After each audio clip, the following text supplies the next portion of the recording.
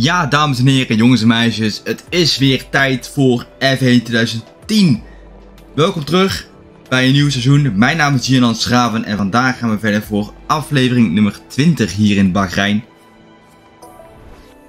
Ja, ik moet iets, want ja, wat ik net al zei, ja, de volgende video's, alle afleveringen van F1 2021 My Team Career Mode zijn geüpload. Dus ik kan niks en moet helaas dit uploaden, maar goed, het is wat het is.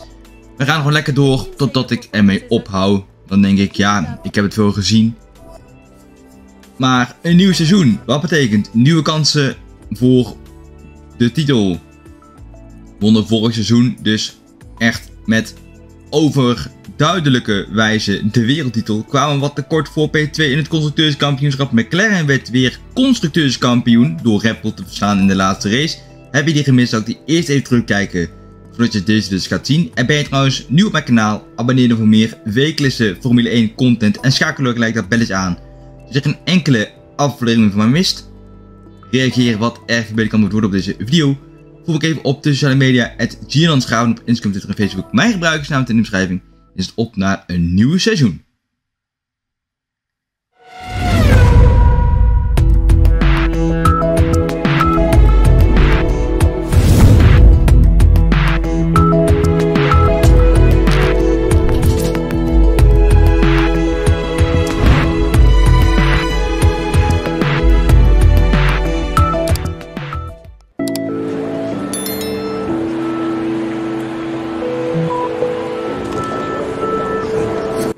Een nieuwe omgeving dus.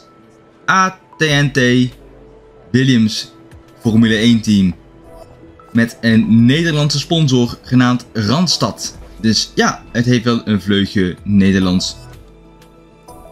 Maar goed, we moeten van dit team weer een topteam in te maken namelijk. Krijgen 12.500 dollar per jaar. Veel meer dan die 7.000 dollar van Virgin Racing. Zijn teamgenoot van Rubens Barrichello. Dus hopelijk dat we in Bahrein er gelijk bij zitten.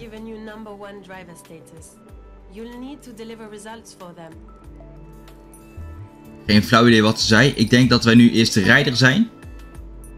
En Virgin Racing staat dus derde in het constructeursklassement, maar die gaat al snel terugzakken. Er is een trofee bijgekomen, zie ik, aan de rechterkant. Jazeker, dat is een Daro coureurstitel behaald. Hopelijk kunnen wij er dit seizoen 2 van maken. Andere helm. Een rode helm is het. En is het op naar de kwalificatie. Daar zijn we ook aanbeland in Bahrein. Weer met dezelfde motoren onder de auto. En kijken of dit voor misschien wel de pole position wordt. Kijken of de rest ook allemaal het huiswerk goed heeft gedaan. Beetje over die curbstone heen gesprongen. De auto wat verloren. Maar dat zou eigenlijk geen probleem moeten gaan uitmaken in deze wedstrijd. En de kwalificatie natuurlijk. Zijn aanbeland bij sector 3 van onze eerste run in de kwalificatie. En ik verwacht hier gewoon een snelle rondetijd. Jazeker, met een 2 minuut 06. Pole position voorlopig. Daar kan nog wel een tandje vanaf, hoop ik. Het zou wel mooi zijn als dat gaat gebeuren namelijk.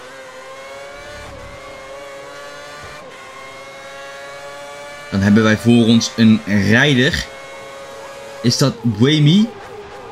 Jazeker, het is Sebastian Buemi en die gaat hier niet zo makkelijk aan de kant.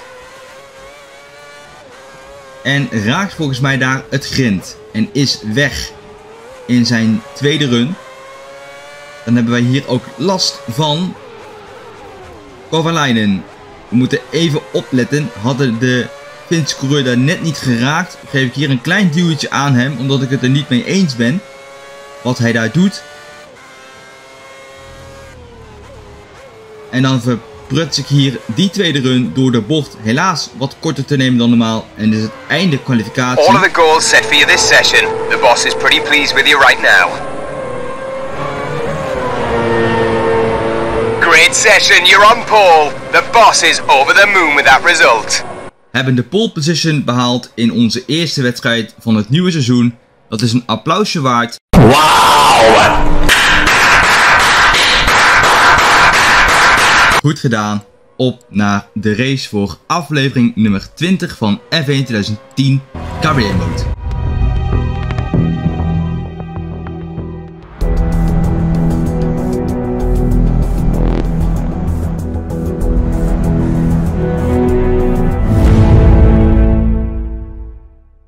Dan zijn we lekker aanbeland bij de race. Starten op pole position hier in Bahrein. Starten op de zachtere compound. Starten dus ook voor het eerst met een nieuw team gelijk op pole. Goed gedaan. Ik weet niet of we dat in seizoen 1 hadden gedaan. Maar goed, het is wat het is. Ik verwacht hier een uh, niet al te spannende strijd, namelijk... Strategie. Ronde nummer 3 naar binnen voor de harde compound gaan we even aanpassen naar ronde nummer 4. Het kan zijn dat we dat nog gaan uh, wijzigen tijdens de wedstrijd.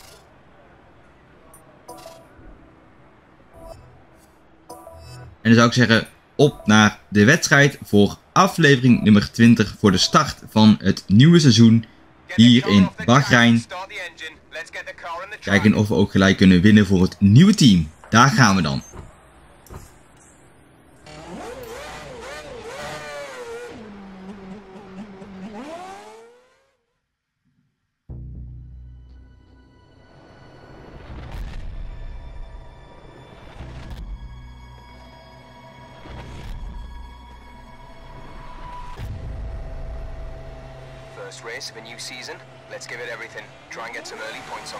Alles geven voor deze wedstrijd. Vroege punten halen voor deze wedstrijd. We gaan beginnen, want de lampen zijn uit en we zijn onderweg. En we komen gewoon goed weg. Alonso naar P2, Felipe Massa naar P3. Hamilton op P4, de eerste bocht. Gaat dat goed? Jazeker, dat gaat goed. Dat gaat niet goed, want Lewis Hamilton is zijn volvleugel kwijtgeraakt door het paaltje aan die binnenkant. Hij moet dus naar binnen voor een nieuwe neus. Kubica heeft P3 afgepakt van Felipe Massa. Hij is ver teruggezakt. Vettel naar P4.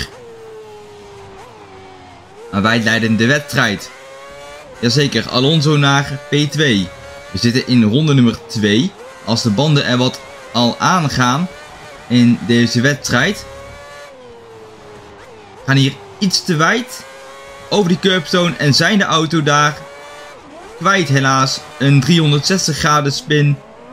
Jammer, maar helaas. Maar komen gewoon nog als leider terug. Weer in dezelfde richting waar we heen moeten. Want de voorsprong naar Fernando Alonso was groot genoeg. Daardoor hebben de banden wel een douw gekregen van ons. Want in ronde nummer 4 moeten wij naar binnen voor onze laatste pitstop van de dag. De rechter achterband is eraan gegaan. Rubens Barrichello op P4. Maar hij moet nog een keer naar binnen toe. Rosberg op P3, Fernando Alonso op P2, beide aan de leiding in de grote prijs.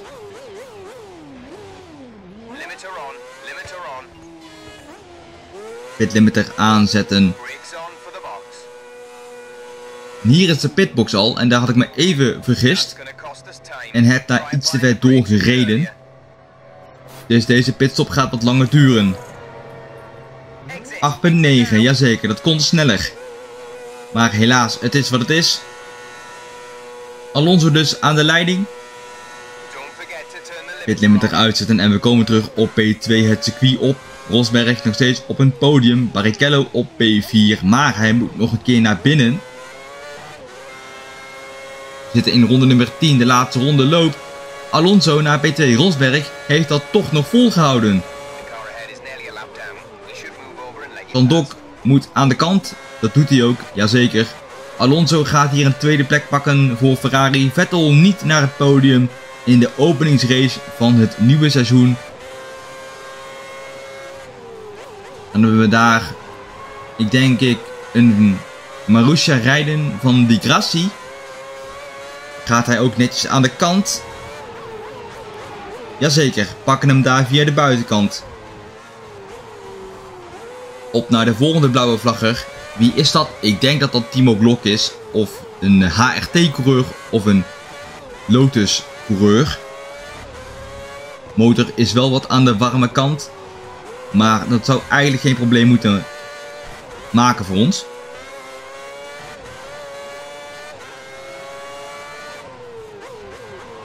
Nog een paar bochten te gaan in de wedstrijd krijgen nu wel flink waarschuwingen vanwege het bocht afsnijden. Waarom? Ja, het kan me eigenlijk helemaal geen reet schelen namelijk. Dus uh, ja, vandaar dus. Het is een Toro Rosso coureur die daar op een ronde wordt gezet. Als wij daar de auto daar gewoon weer bijna kwijt zijn. Moet het echt rustig aan gaan doen met het gaspedaal. Is dat Sebastian Buemi die daar op een ronde wordt gezet? Of is dat Gami Alguersuari? Weer die auto daar bijna kwijt. Weer de auto bijna kwijt. Dus ja, de handeling in F1 2010 blijft lastig. We komen zo meteen aan bij het laatste deel van het circuit. En dan gaan we hier de openingsrace winnen in Bahrein. Het is Sebastian Buemi die ons daar even wat uh, problemen zorgt. Maar het is al niet erg waarom. Wij winnen hier de grote prijs van Bahrein, pakken de allereerste overwinning voor het nieuwe team. En ons opmaken voor de volgende wedstrijd in Australië.